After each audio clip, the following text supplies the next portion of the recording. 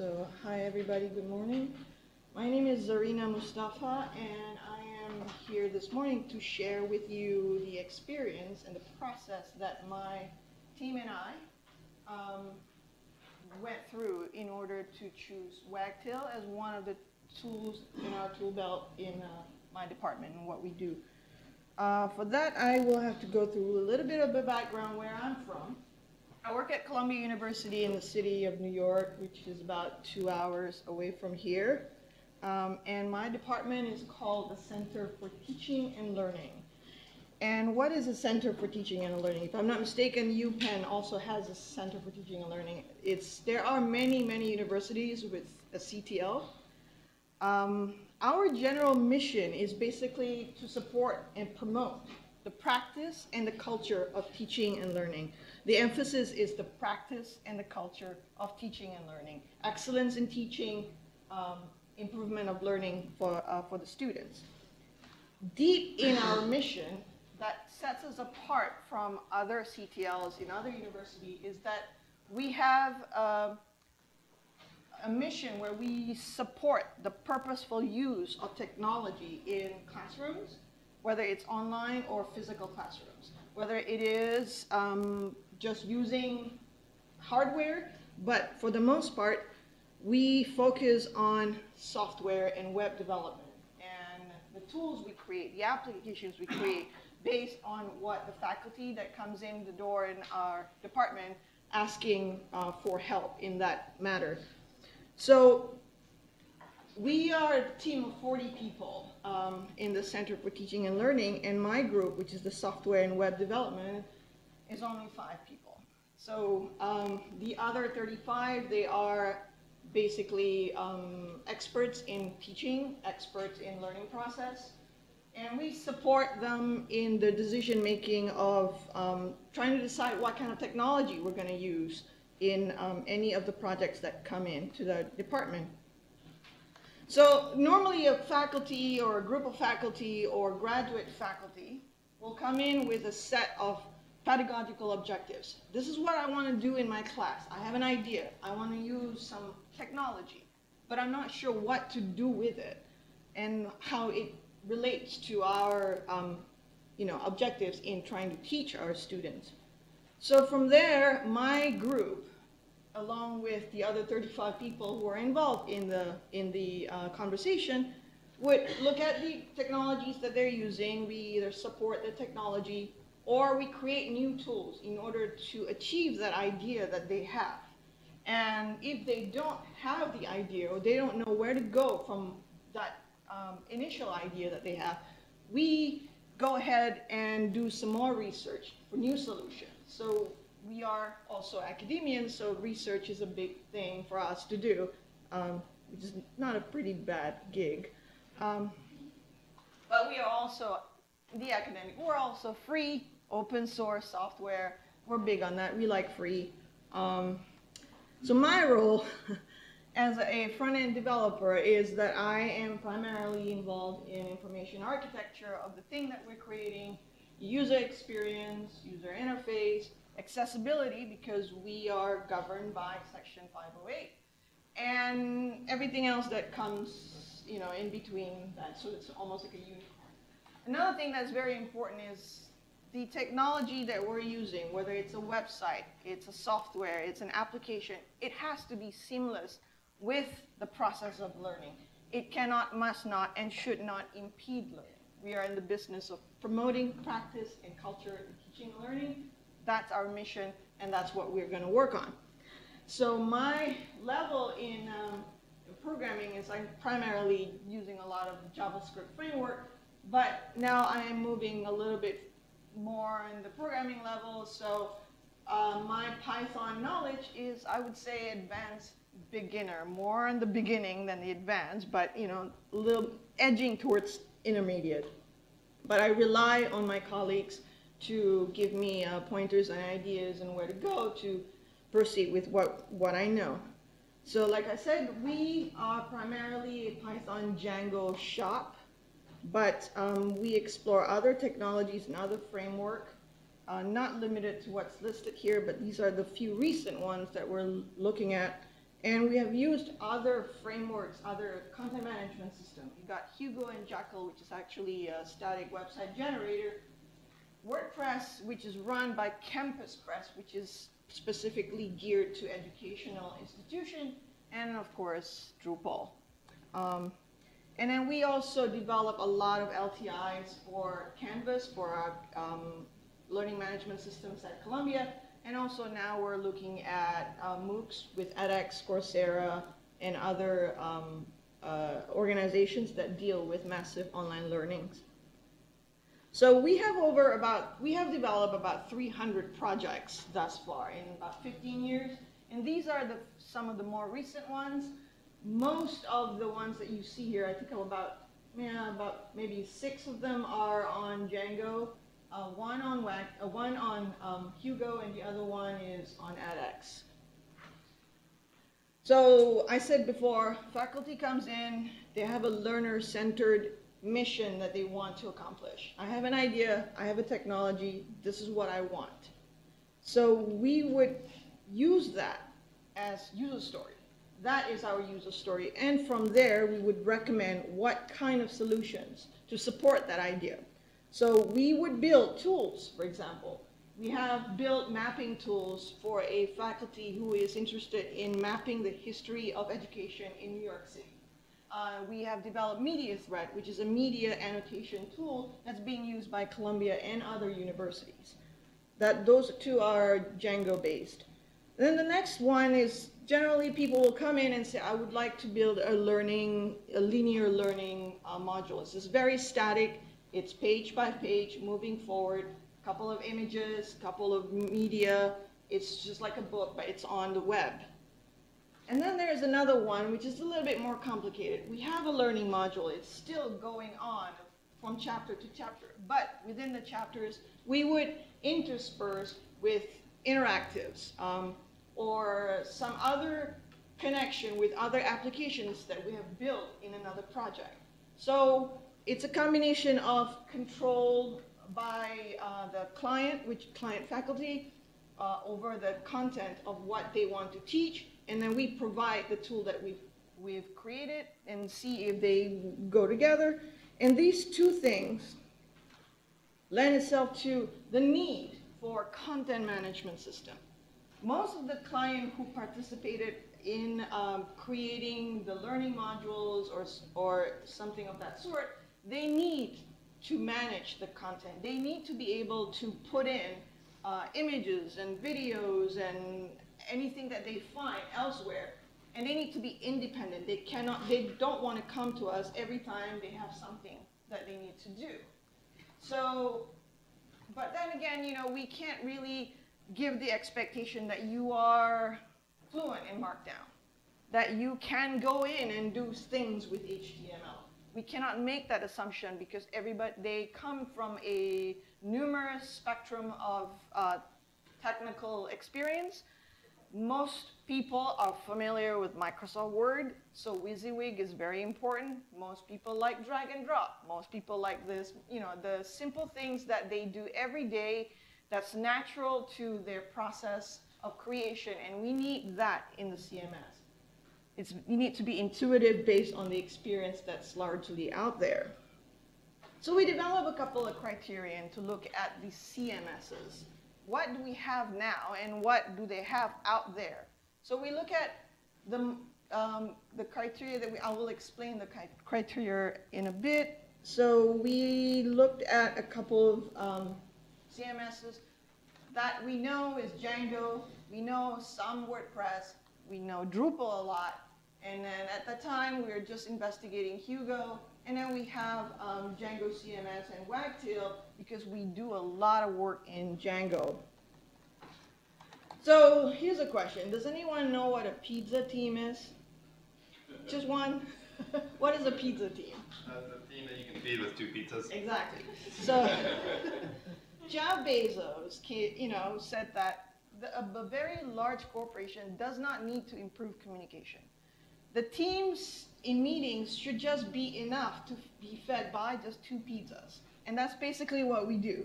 We have hackathons every month, once a month, and that's devoted entirely to research and development of any technology there is out there in order to find more knowledge to support our faculty. So we, we set aside three six, six hour, three, six, wait, three days, six hours each day, two pizzas each. And we look through, we look into how the um, Hugo, Django CMS, and Wagtail compare, contrast, see how they fit, see how they fit our mission, because our mission, again, practice and culture of teaching and learning. So going back to the rubric that we created, we looked at control. We want to have control over the model. If we build a page, what is this page going to be? It's going to be videos, images, etc., etc. We need to be able to control and have a larger picture of how these models are connected. We need to have control over the code, the template, and we need to be able to test it. Of course, everything that is Python-based, we can do that. Um, Hugo, to some extent, the modeling is on the config file. It's a little hokey. It gets really complicated when it's many-to-many relationship. It has no database. That's what we're trying to say. Campus Press has no model. It's just pages. And Drupal is, um, yeah, it's it's okay, but we can't see the larger picture. We can't see if somebody else is creating the model and then now it's breaking and then we can't look at it quite the way we want to look at it. Versioning is very important. Um, I have made many mistakes as an advanced beginner, and so I can fall back to where it was before. Um, Campus Press and Drupal's versioning is mostly content, not code.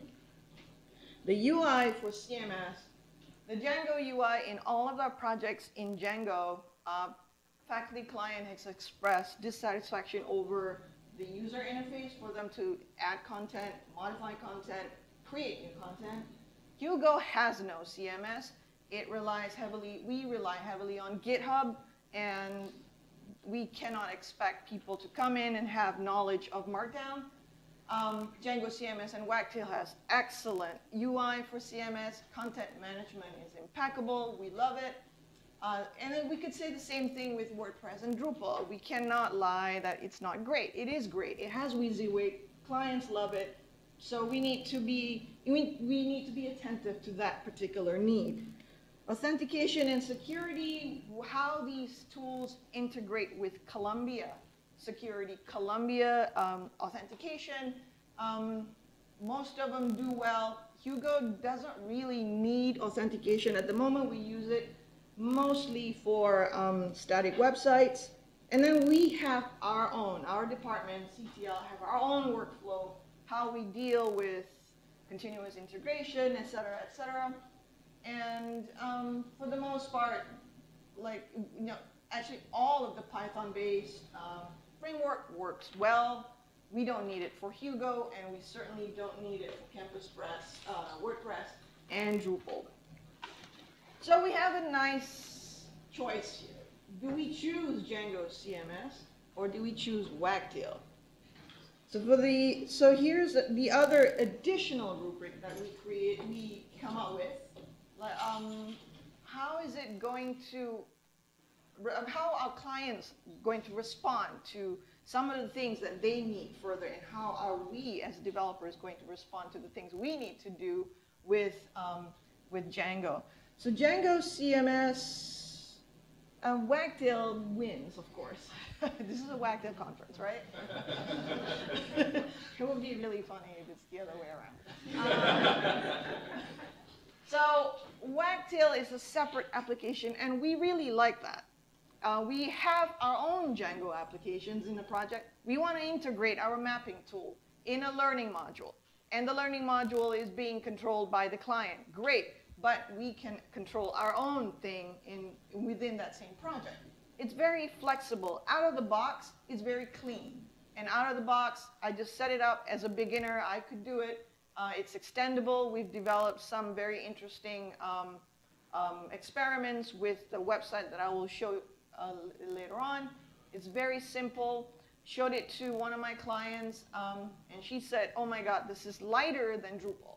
And lighter, what she meant by lighter is that it's terribly simple, and that simplicity is because we work together to decide what the CMS is going to be, not what the CMS is, and we fit to that CMS.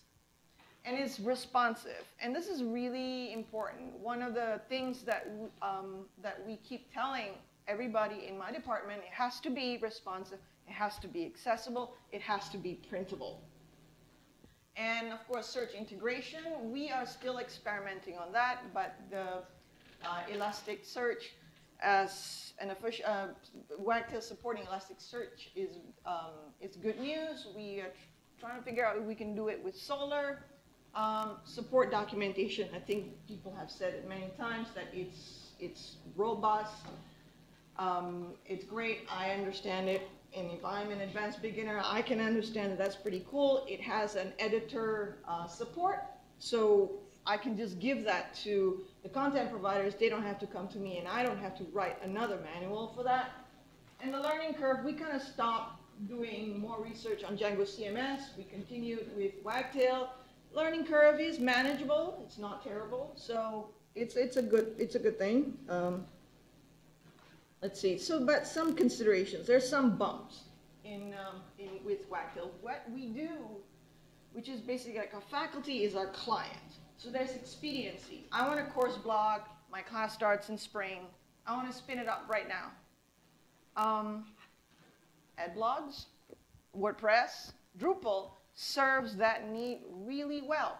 You can do this. Here it is. But then there's this technical debt. Are you using this just to start your course blog? Or do you want something richer? Do you want something cleaner? Do you want something that you can manage, that can survive more than one semester? You can extend it to another class next semester or another course by another faculty. And it does require a developer. Um, you can't just spin it up like that out of the box. Maybe you can if you have some knowledge how to do that. But for the most part, they need us in the short term, in the long term, to go through the user story so that it becomes a critical mass how, how and when we're going to recommend Wagtail for their projects. And of course, when something you know happen and everything is great, and then have a feature request. So we need to spend a little bit more time to look at our models. I mean, see how they fit, how what will be compromised, et cetera, et cetera. So it needs time. And um, there's also migration from old applications. We have a lot of legacy projects from Drupal, from Movable Type. Anybody remember Movable Type? old, old technology. We still have that, and faculty are still using it. So we need to migrate that out. So we're experimenting on how to do that, um, starting with a couple of projects with the music department, which is pretty exciting. So the experimentation. So we know what it is, so let's try it out. Um, this is something that still in the works. It's not widely distributed. It's not even live. Um, we are building in our department a portfolio of all the things that we have made, that we have produced. Um, it's very simple. You know, it has thumbnails. It has a list of things, and you click one thing, it goes to another thing, tells you what it is. But the thing itself has many things in it, and the project is by a developer, there's a project manager, there's a developer, there's a designer, and there's a communications manager. And the communications manager is our client, so to speak, in this case, uh, where she wants, you know, this is a tool for others to know us. I want to see this, this, this, and this in this manner. And the designer would say, okay, I want this, this is how it looks like, and this is how it's going to print, this is how it's going to look on mobile. All the functional specification, all the technical specification, all the communication specification is built into the model, and you can see how it maps out. And we work together with the, develop, with the developer and the, the communications manager and the designer. Um, and when we give this to the communications manager, he just enters everything. Don't need to worry about where it's going to go. And if we decided that it doesn't look right, then we can just play around with the template later on. Still same model, great. Um, no, um, no complications. And we are extending this even further because we're now trying to figure out how this is going to hook into our main website, how this is going to be published into communications uh, leaflets, et cetera, et cetera. So it's, it's gonna be uh, complicated very quickly around July. so, let's see. So there are a couple of um, criteria that Wagtail met with, uh, with us across the different, uh, the different groups that we have, which is developers, designers, faculty partners, and content providers. The flexibility and extendability of Wagtail is a welcome relief, I would say, for us, because now we have a thing, something else to to provide them to say that you know you do have a CMS and you can customize it, and we can do whatever we want, given um, you know the restraint that it's not the CMS. And the UI for the CMS can be customized intuitively with collaboration among the designers, the uh, developers, and the faculty partner, which is great because then it creates room for faculty, um, for creativity. You can be creative in your modeling. You can be creative in your um, the UI. You can be creative in actually sending out the message or the, the learning, uh, uh, you know, the activities that we, we build, et cetera, et cetera, with Django and Wagtail. And this is still beginning. We are barely scratching the surface with Wagtail because, um, uh, you know, among other things that we have to do.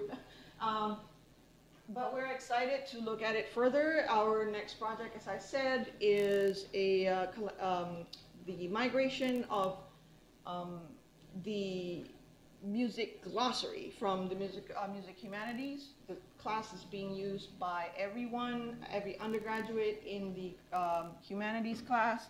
So it's pretty exciting to see how Wagtail can serve that purpose. So that concludes um, my talk about the process. We are still ongoing, so we will let you know how, how we're going to go from there. Um, on our blog is compile.ctl.columbia.edu. We have a blog, a developers group, and um, we post from time to time about our experience um, in, in the things that we make. And each post, we accompany it with cat pictures that encapsulates what the post is about. So print is a device, you can see a cat with a printer, um, and you know, no dogs allowed, it's authentication. Um, so when I go back to my desk, uh, the end of the week, I'll be writing about this conference and my experience with Wagtail, and I will be using this photograph. Uh, so I think the birds survived, but you know, we'll, we'll find out. and uh, yeah, thank you.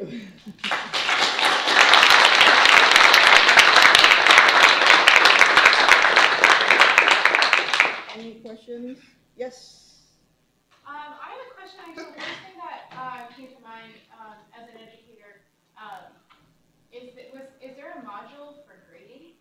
For what? For grading? Grading. We use Canvas. Okay. Um, so because it is supported by uni- the university, it's integrated with the registrar and therefore the courses and the groups. Um, some of the things that we created for that uh, for, for our group is a tool to support the learning. So all the exams and the uh, um, for example, media threat is the media annotation tool. Um, that is actually, we develop an LTI for Canvas, and we hook up the two, and when they did their uh, assignments in MediaThread, it goes straight to Canvas.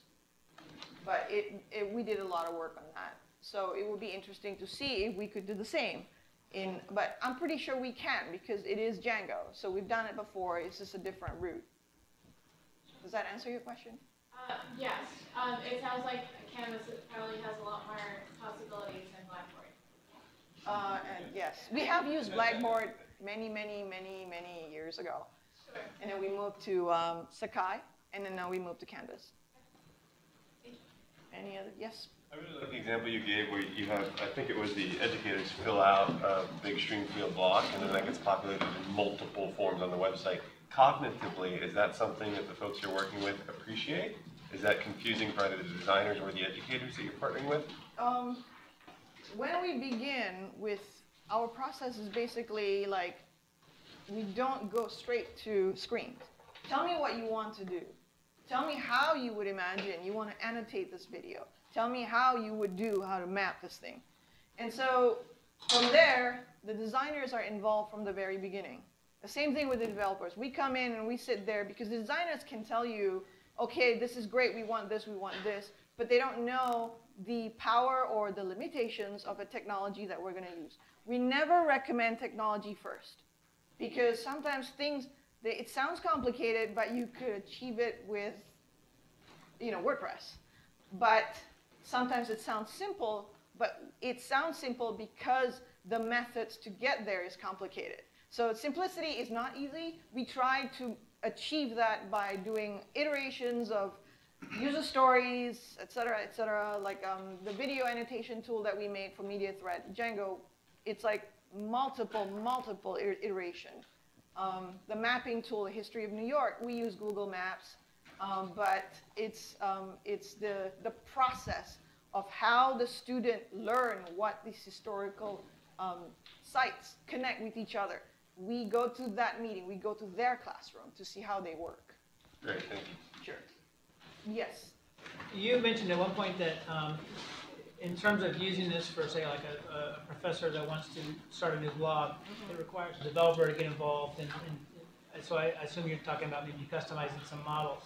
Yes. Would it not be possible to have sort of a, a, a one or two or three different sort of models already set up, and you could just go into the admin and say, okay, I'm going to create a new blog, and That's what we were thinking. So Yeah. we start sort of like a boilerplate. Yeah. This is a simple thing, complicated thing, very, very complicated things. So we're, we're trying to figure out like um, what are the patterns because every time when we create something with a cookie cutter and they say, but what if I want X? And then now that cookie cutter is a little with an X, like a quiz tool. You know, like okay, well, I want um, you know ABCs, but what if I want to choose your own adventure? And then now this, and then you know, so it's it's um, I don't know if you're aware of the site settings capabilities in Wagtail. Uh, yeah, we looked at that too, but we're we're we're trying to figure out again, like what are the patterns, Okay. and then how do we cookie cut this these patterns. Any other questions? Great, thank you.